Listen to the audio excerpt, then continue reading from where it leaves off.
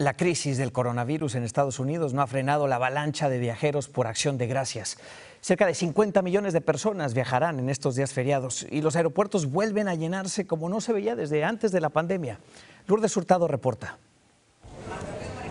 La mascarilla bien puesta, pero imposible mantener la distancia social con las aglomeraciones en aeropuertos, que llegan en el peor momento de la pandemia para la nación. Nos pone ansiosas, pero siento que nos hemos preparado bien y ya comprando comida antes, preparándose cada una con su antibacterial. Se estima que unas 50 millones de personas viajarán en esta festividad a pesar de las recomendaciones de los CDC urgiendo a la población a quedarse en casa y aunque en comparación con el año pasado el flujo de pasajeros en vuelos ha disminuido a más de la mitad. Estamos operando a un 50% de, de capacidad. No se había visto desde marzo tanta gente.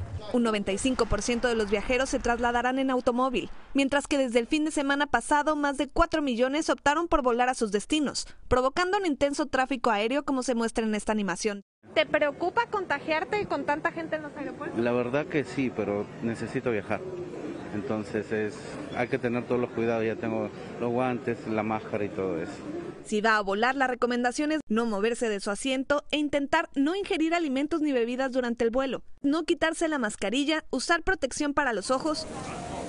Al llegar a su destino, muchos tendrán que acoplarse a nuevas restricciones, pues 18 estados y Washington, D.C. han implementado requisitos de cuarentena o de pruebas diagnósticas negativas para quienes visiten. Cuando venimos es lo primero que nos piden la, prueba COVID.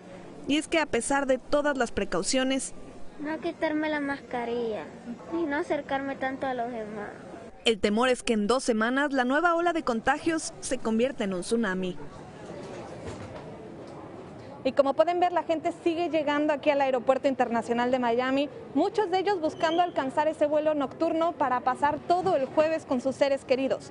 La pregunta que nos hacemos ahora todos es, ¿cuántos de estos viajeros se van a contagiar y cuántos de ellos podrían estar exponiendo a sus propias familias con tal de celebrar Acción de Gracias? Julio, regreso contigo.